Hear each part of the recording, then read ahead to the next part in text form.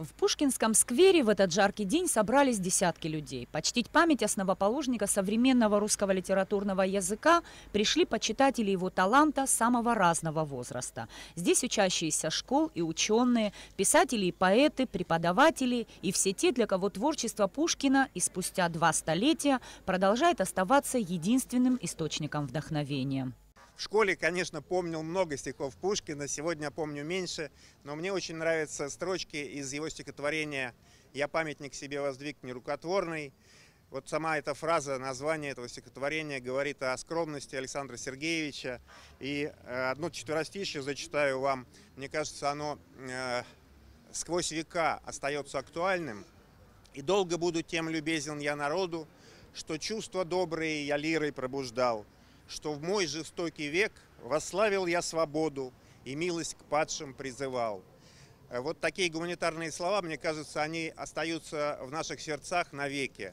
Далее в ботаническом саду, который основал друг поэта генерал Николай Раевский, состоялась уже ставшая традиционная литературная встреча. Под сенью 350-летней Кавказской липы любители творчества русского поэта рассказывали о своем личном восприятии творений Пушкина. Читали стихи поэта на русском и абхазском. Выступили председатель Ассоциации писателей Абхазии, пушкинист Мушни Ласурия, председатель правления Фонда русского культурного центра в Абхазии Наталья Каюн, президент Академии наук Абхазии Абхазии Зураб Джапо, директор Института ботаники Эдуард Губас. Открывая мероприятие, один из инициаторов встреч, народный поэт Абхазии Мушни Ласурия, сказал, что Пушкин любим и дорог абхазскому народу. Он отметил и тот факт, что вот уже два века творчество великого мастера продолжает объединять людей независимо от национальности и места проживания.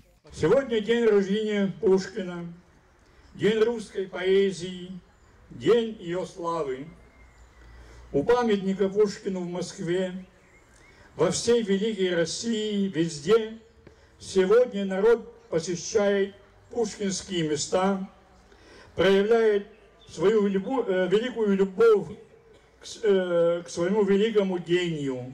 С Пушкина началась не просто новая эпоха русской культуры. В творчество гения оказалось впитанным то истинно национальное, что определяло духовную жизнь русского народа.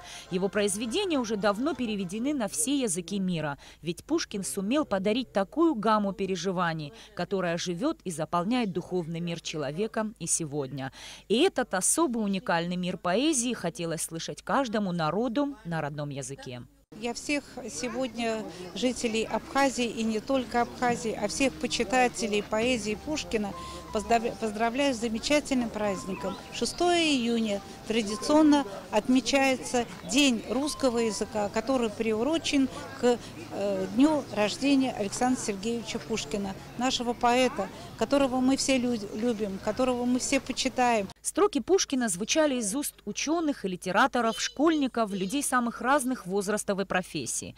Праздничная концертная программа включила в себя лирические танцы, костюмированное представление и нежное звучание флейты. Торгуя совестью пред бледной нищетою, Не сыпь своих даров расчетливой рукою. Щедрота полная угодно небесам. В день грозного суда, подобно Ниве тучной, О, сеятель благополучный, Старицу воздаст она твоим трудам. Но если, пожалев трудов земных стяжания, Вручая нищему скупое подаяние, Сжимаешь ты свою завистливую длань, Знай, все твои дары, подобно горсти пыльной, Что с камня мой дождь обильный исчезнут, Господом отверженная дар. В рамках празднования Дня русского языка были награждены победители тотального диктанта, проведенного в Абхазии еще в апреле. В акции грамотности приняли участие более 500 человек, среди которых были не только школьники, но и преподаватели школ и вузов. Лучшим знатокам русского языка сегодня вручили грамоты. Человек совершенно не филолог, да? Кто вы? Можно э, слово? Главный бухгалтер. Это был очень необычный, интересный опыт для меня. Я хочу выразить огромную благодарность всем организаторам и замечательным участникам. Пушкин – первый русский писатель мирового значения. И сегодня, в 219 год со дня рождения поэта, его стихи звучат как-то по-особенному, более значимо, но от этого не менее родные.